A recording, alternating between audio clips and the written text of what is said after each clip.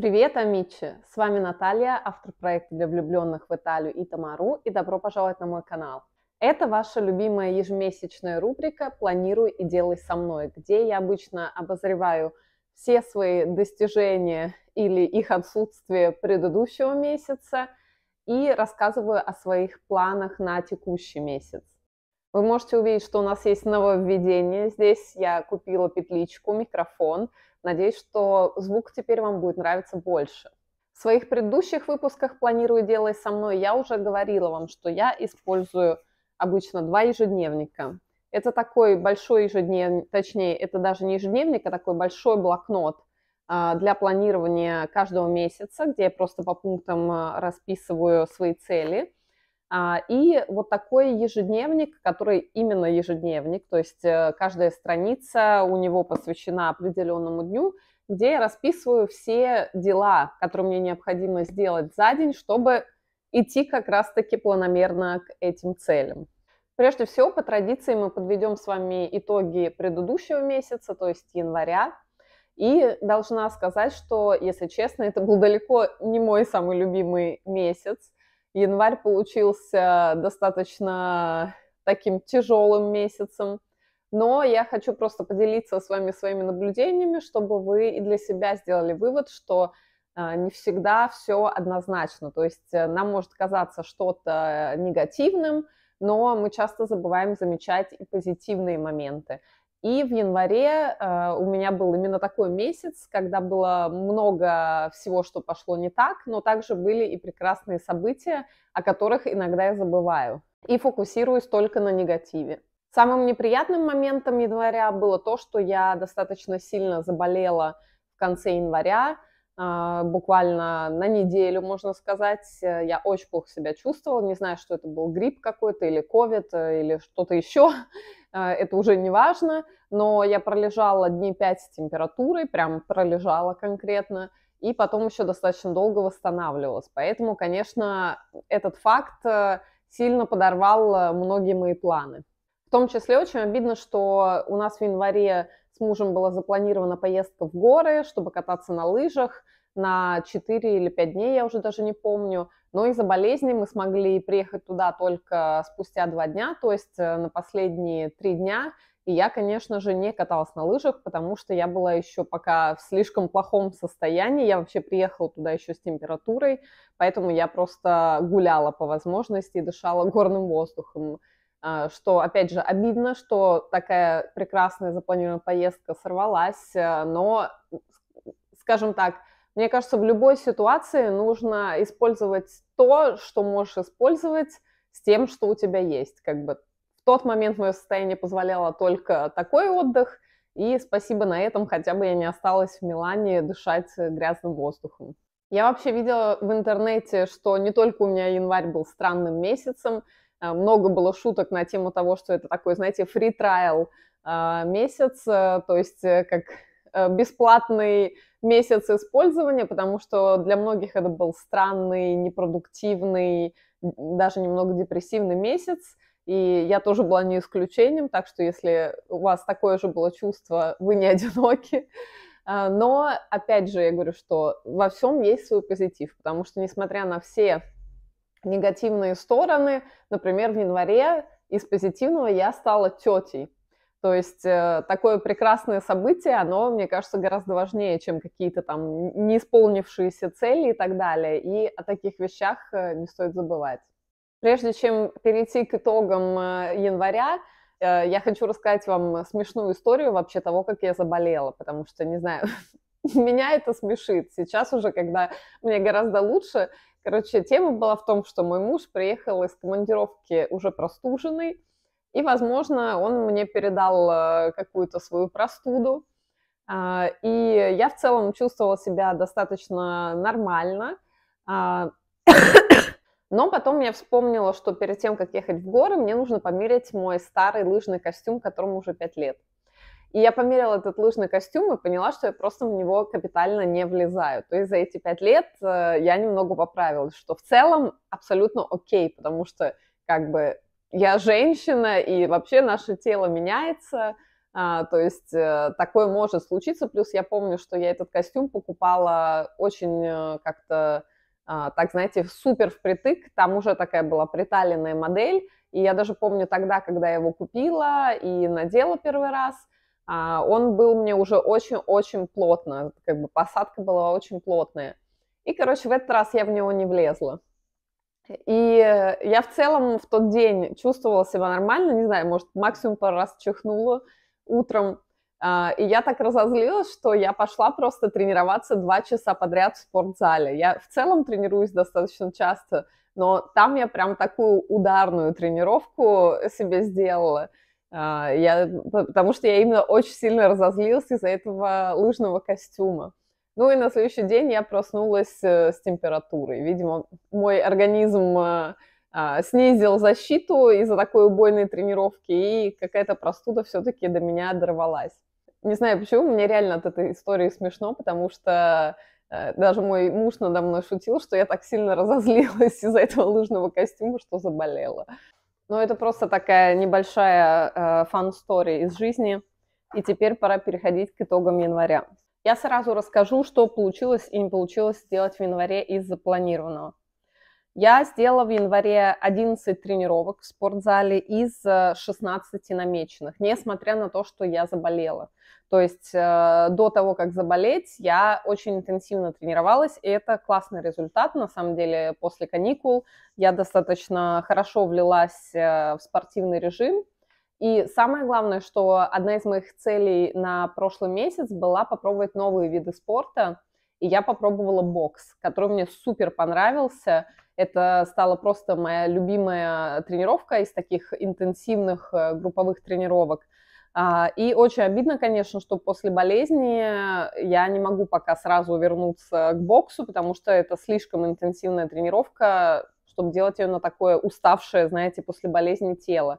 А, я сходила уже в спортзал несколько раз после болезни, и я прямо чувствую, что у меня гораздо меньше сил, и нужно еще немного восстановиться. Поэтому я пока не гоню коней, но классно, что я попробовала бокс э, у нас в спортзале в прошлом месяце.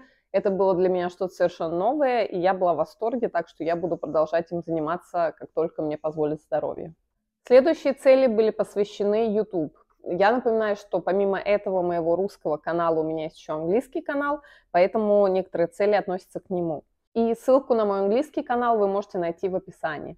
В январе я сделала два длинных видео, опубликовала два длинных видео на своем английском YouTube из пяти запланированных, что, конечно, мало. Но, опять же, э, поскольку я реально заболела сильно, э, скажем, дней 10, наверное, из месяца просто вылетели за счет этого, поэтому два видео это уже что-то лучше, чем ничего, но, конечно, учитывая, что моя цель это дойти до монетизации на английском YouTube, мне нужно поднажать с контентом, но в прошлом месяце получилось вот так. Также я хотела сделать упор на шортс, но это, опять же, очень такая интенсивная работа, и, к сожалению, из шортс я опубликовала только три на своем английском канале из 15 намеченных. Это, конечно, такой себе результат, но, опять же, говорю, январь выдался не самым приятным для меня месяцем, поэтому имеем то, что имеем. Зато у меня был план сделать 4 длинных видео на русском YouTube, и я их сделала. Одно из них это было мое интервью на английском радио, которое я перевела на русский, но я все равно его считаю, потому что это все-таки был новый загруженный контент. Так что по цели по русскому каналу на YouTube я сделала на 100% в плане длинных видео. Я публиковала 4 из 4 намеченных. Но зато из шортс я публиковала только один шортс из 15 намеченных, потому что просто я, можно сказать, практически ничего не снимала а, из коротких видео на русском языке. Следующий пункт, э, цель была в январе посотрудничать с двумя блогерами для моего бренда. И, к сожалению, я этого не сделала я не сотрудничала с блогерами, но, опять же, говорю, месяц был странный, и помимо болезни, эта болезнь меня еще немножко подкосила, потому что мне было реально очень плохо. Я понимала, что многие дела я просто не могу делать, естественно, из-за физического состояния. И это в том числе подкосило немного мое и психологическое состояние. Я была не в самом лучшем настроении, совершенно, я бы сказала, не вдохновленном. Поэтому, конечно, с блогерами мы не посотрудничали. Но я договорилась об одном сотрудничестве, которое я перенесу на февраль. Также была цель разработать э, одну новую вышивку для коллекции весна-лето. Я это не сделала, поэтому, опять же, это переносится на следующий месяц.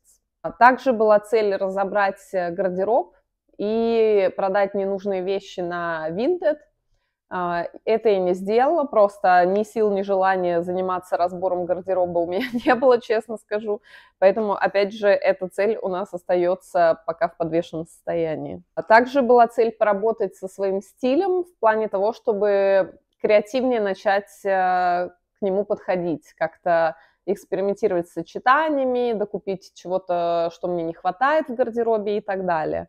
Опять же, из-за физического состояния эта часть не была сделана, но это, знаете, такой долгосрочный проект, которым я хочу в целом заниматься в этом году, потому что работа над стилем – это, знаете, не однодневные занятия, это такой процесс креативный. Также одна из целей на январь была экспериментировать с контентом, то есть более как-то креативно, а, артистически себя проявлять в контенте – опять же, для этого мне нужно подобающее физическое и особенно психологическое состояние, потому что, естественно, креативные идеи, знаете, какое-то вдохновение, оно не лезет э, в больную голову, поэтому э, это вполне логично, что это мне не удалось, но все равно контент я делала и достаточно хорошем уровне. Также была цель на январь оживить свой русский инстаграм, который я немного забросила. А, и сделать там 10 а, постов. Но из них я сделала всего два, но зато я достаточно хорошо работала со сторис, потому что это тоже было одной из целей а, оживить сторителлинг, работать лучше со сторителлингом в сторис, и в целом я достаточно много интересного и красивого контента публиковала именно в сторис, так что это получилось, но, конечно, над количеством постов нужно было еще работать. Также у меня есть э, английский инстаграм именно моего бренда, а, и а, где я публикую материалы только связанные с моим брендом одежды и аксессуаров. И там я хотела сделать 11 постов, а, из которых я сделала 8, что вполне неплохо. То есть достаточно живой был аккаунт э, в январе у меня. И была цель э, такая, знаете, которая не всегда от меня зависит, э, точнее, вообще она не может э, зависеть от меня на 100%, но у меня была цель дойти до 5000 подписчиков в своем английском инстаграм бренда, и я дошла до этой цифры в январе, так что эта цель выполнена, и это классно. Сейчас у меня уже там почти пять с половиной тысяч, то есть э, аккаунт растет очень быстро, и это приятно. В общем, как мы видим, январь получился так себе. Наверное, из всех моих предыдущих видео «Планирую, делай со мной» э, у меня больше всего пунктов э, не получились э, за этот месяц по сравнению с другими месяцами. Но, опять же, говорю, здоровье – это самое важное, и, к сожалению, когда его нет, то все остальное тоже отсутствует, поэтому хорошо хотя бы, что я уже поправляюсь, точнее, я уже немного, я еще пока немного кашляю, но я уже практически на 100% поправилась, и это самое главное. Плюс, я говорю, не забываем, что а, практически всегда, даже в месяцах, которые нам кажутся какими-то непродуктивными или негативными, всегда есть что-то хорошее, просто мы часто об этом забываем. Например, для меня самое важное событие января было, что у меня родился а, племянник, и это самое главное, скажем так, в этом месяце. Остальные рабочие дела, их можно наверстать и в другое время. Это были все пункты января, которые я выполнила и не выполнила. И перейдем теперь к моим целям на февраль, который уже идет. Конечно, э, эти цели я уже выполняю постепенно, что-то я уже сделала из этого списка, но я оглашу вам весь список. Итак, в феврале, как всегда, я в каждом месяце начинаю в первую очередь со спортивных целей, потому что, как я говорю, и как уже стало понятно, без здоровья невозможно делать что-либо, поэтому физическое состояние, спортивное тело, вообще здоровье и присутствие энергии – это самое главное. Именно поэтому в первую очередь у меня всегда спортивные цели в моем списке. Поскольку в феврале я буду достаточно много путешествовать на какие-то выходные, и также поеду в Россию на достаточно долгое время, поэтому а, мой список, он такой достаточно скромный. Я не стала планировать себе какие-то грандиозные цели, потому что я понимаю, что в разъездах многие вещи я не могу делать, э, и это нужно учитывать. Нужно целом всегда подходить реалистично к своему планированию, потому что можно запланировать, там, не знаю, 50 тренировок, но если вас э, не будет полмесяца в городе, и вы не можете ходить в спортзал, конечно, это, знаете, мало реалистично. Поэтому я на февраль себе запланировала только 11 тренировок но это уже хорошая цифра на месяц, которая, мне кажется, вполне достаточно, чтобы держать себя в форме. И помимо тренировок, э, у меня не то чтобы прописан прям этот пункт, хотя надо будет его добавить, но я хочу поработать еще немного и с питанием. В первую очередь я хочу уменьшить количество углеводов, потому что когда я, естественно, хожу там в рестораны, мы встречаемся с друзьями здесь, в Италии и так далее – то сложно питаться как-то супер правильно. Это всегда когда какая-нибудь паста, пицца или хлеб или десерты, просто потому что в Италии такая жизнь. И, конечно, э, это может сказываться на форме, если часто какие-то бывают выходы в свет и так далее. Поэтому я хочу в этом месяце немного так э, сконцентрироваться на том, чтобы просто почистить немного свое питание, не сидеть на какой-то диете, но сделать его легче. В первую очередь убрать э, всякую выпечку, хлеб, десерты и прочее. Итак, переходим к целям по YouTube, которые у меня присутствуют каждый месяц, потому что YouTube и вообще мои соцсети – это двигатель моего бизнеса, поэтому для меня это важно, я всегда на каждый месяц планирую количество контента, который я хотела бы сделать. Опять же, в этом месяце я буду много путешествовать. Я знаю, что когда я путешествую, у меня не получается делать именно какой-то длинного формата контент, сложно снимать на YouTube, конечно, я это учитываю, поэтому в этом месяце я запланировала на февраль э, всего 4 длинных видео на русском YouTube, что на самом деле немало, потому что если я буду пускать хотя бы одно видео в неделю, это уже достаточно хороший ритм. Также я хочу опубликовать 10 русских шортс, то есть коротких видео на YouTube, а, над этим нужно поработать, потому что на самом деле я поняла, что мне во многом длинный формат снимать а, и вообще придумывать легче, чем короткий. Это странно, но есть у меня такая особенность, а, поэтому над шортс мне надо прям поработать. Также на своем на английском канале YouTube я хочу сделать тоже 4 длинных видео, чтобы тоже выходило где-то по одному видео в неделю. И также 10 шортс на английском YouTube. Потом я хочу сделать э, хотя бы одно сотрудничество с блогером э, по своему бренду. И на самом деле я уже нашла блогера, очень забавная девушка. И я думаю, что в этом месяце мы с ней, мы с ней наконец-то договоримся и посотрудничаем. Также следующий пункт. Э, я хочу разработать две вышивки для коллекции весна-лето. А, я решила, что я в этом сезоне, в новом, не буду выпускать какое-то огромное количество новых моделей, но я абсолютно точно выпущу несколько новых дизайнов а, в таком ключе, который знаком уже моим клиентам, но это будут новые дизайны вышивок, и две из них мне нужно будет уже разработать в этом месяце, чтобы запустить их в производство потом. Следующий пункт, не знаю, насколько хорошо, скажем, спланированный, потому что это достаточно сложно оценить э, в каком-то количественном ключе, но в целом я хочу, как э, было запланировано и на прошлый месяц, более креативно подходить к контенту и к своему стилю. Вообще в целом немного разблокировать свою креативную сторону, которая в последнее время стала слишком рациональной. И мне это не нравится. Я хочу творить, э, скажем так, более свободно, больше экспериментировать и не бояться экспериментировать. Также я хочу сделать э, новую фотосессию для моего бренда с одеждой э, на новую тему. Не знаю, хочу подобрать какие-то новые локации, а, какую-то придумать новую историю. В общем, мне нужен э, свежий контент а, для моих страниц бренда и на сайт в том числе. А, что-то может быть весеннее, поэтому есть цель сделать хотя бы такую небольшую фотосессию со свежей темой в этом месяце. Следующие цели, как всегда, по моему Инстаграм.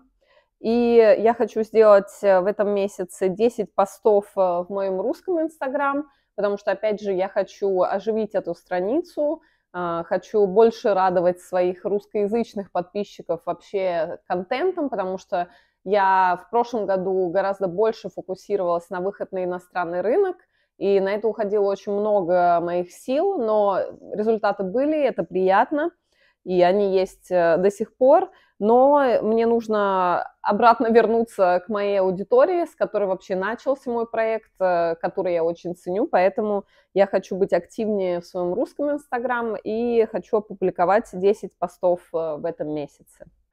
Также я хочу сделать 12 постов. Это могут быть посты с фото или reels, то есть любая публикация в виде именно поста – в моем а, английском инстаграм бренда, на той странице, которая посвящена именно только моему бренду одежды и аксессуаров.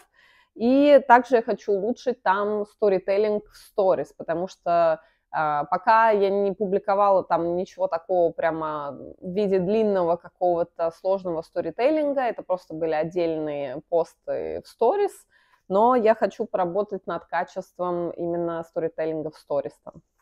И последний пункт, э, скажем, цель на февраль – это начать работу над э, каким-нибудь новым продуктом для моего интернет-магазина. И это, у меня уже есть некоторые идеи, э, но эти идеи для меня, это очень новые для меня продукты.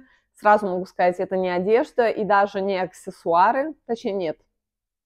Кое-что, наверное, можно отнести к аксессуарам, но, в общем, это такие две идеи, которые у меня есть. Это такие совсем новые для меня вещи, а, которые, естественно, ко всему новому у нас в начале сопротивления. Это сложнее делать. Но в феврале я хочу хотя бы начать процесс работы над одним из этих продуктов, чтобы все-таки как-то двигаться вперед, потому что я считаю, что всегда нужно двигаться небольшими шагами. Главное начать, потом уже как-то все само продолжается. Поэтому очень важно в этом месяце начать разработку нового продукта.